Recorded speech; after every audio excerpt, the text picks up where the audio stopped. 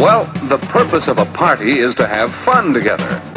And a successful party needs planning and skill. Whether it's a special carnival designed for gay entertainment, or a game party in a home, they all take planning, and they should all be fun.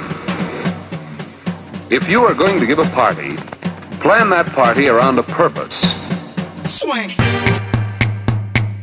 break